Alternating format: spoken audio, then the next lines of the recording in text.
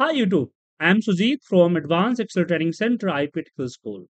Today in this class we discuss about the how can make the pivot table with data, multiple pivot table with data. So this is the data and now we have insert the one pivot table in the one new sheets and we have named that name as a pivot. We can create the pivot here. I want to summary of the total our quantity by zone. So we have put the quantity in the value field and also zone in the row field. So now we have got the zone by total sold quantity. But problem is that I want to also see the amount, total amount, sales amount. So we have put the sales amount in the value section, we got the sales amount.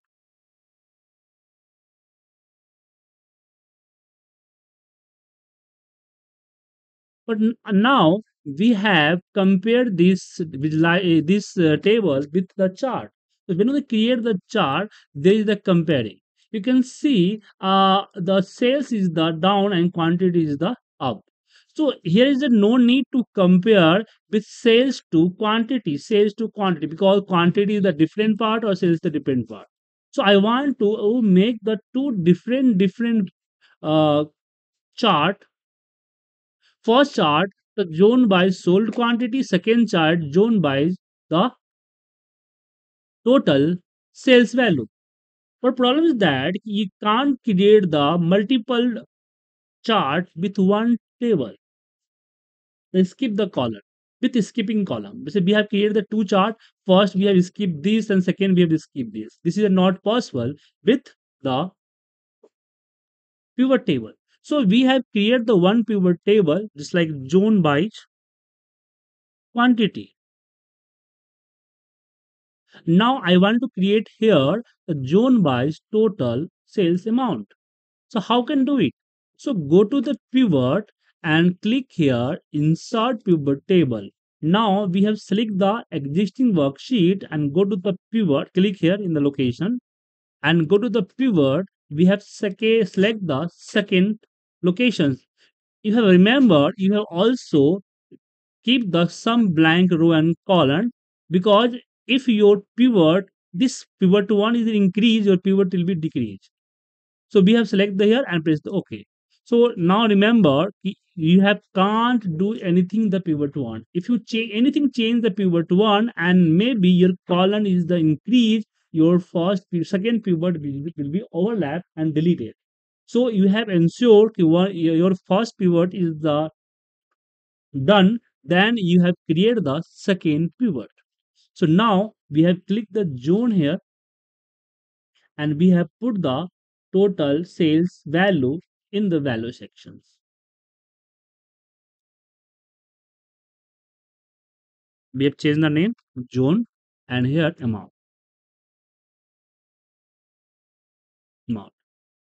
now we have created the uh, different different data visualization here so and also we have cut this visualization and moved to another sheet also we have select here insert the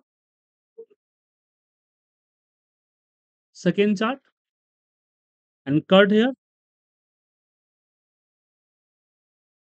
and move to another sheet.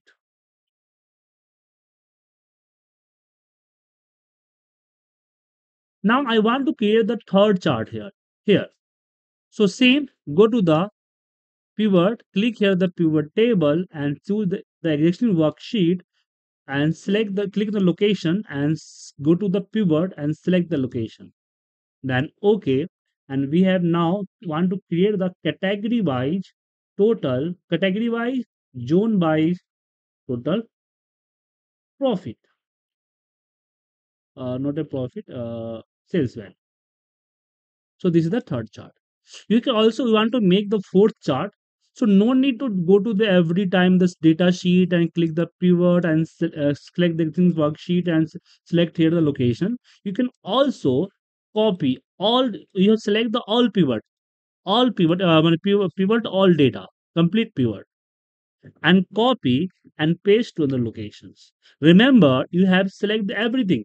if you have just like you have put the uh, filter area. So now you have select also s- filter also. So select your complete keyword and copy to any another locations you have make the different keyword with the same data. You can also insert the slicer go to the slicer and insert here. Slicer click click this like we have select the uh, regions and category. And we have moved this slicer to another location also if you can keep here also i go to the just like dashboard like that here. But when you click the daily only for one chart will change second chart and and second data will be not changed. Because we uh, when you create the uh, slicer with one table you need to link to another table. How can link the another pivot table? Just click the second pivot table here and go to the pivot table analyze here and click the filter connections and connect your slicer and select also go to the pivot table and click the slicer here sorry uh, filter connection like that so now you can select the slicer also use the slicer also. So you have created the multiple pivot table with one data using this method. If you like this video, please click on the like button. Also subscribe my channel. You want to learn the complete advanced Excel with me live online one to one, please call me. My number on screen. Thank you.